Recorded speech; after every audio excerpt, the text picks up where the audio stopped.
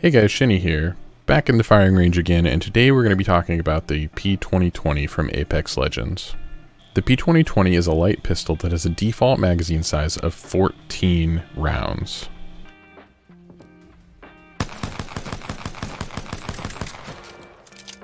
One thing that's nice about pistols is your strafing speed is not affected by aiming down sights like it is with some other weapons, which is really handy.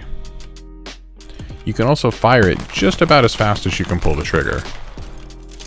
The P2020 can use the hammer point rounds attachment, which will do increased damage to unshielded opponents.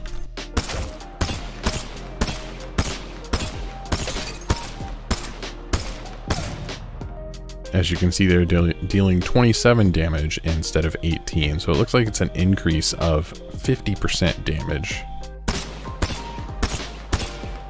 18 on each of the body shots, well 16 on those.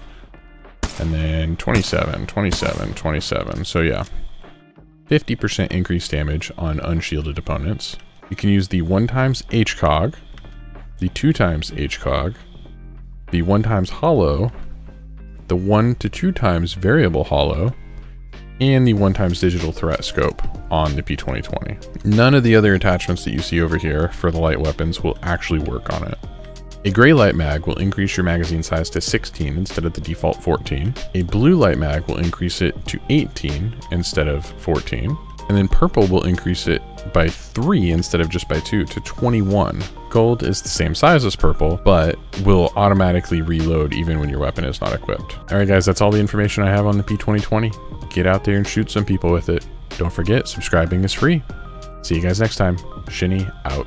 Oh, nice. You throw that up there?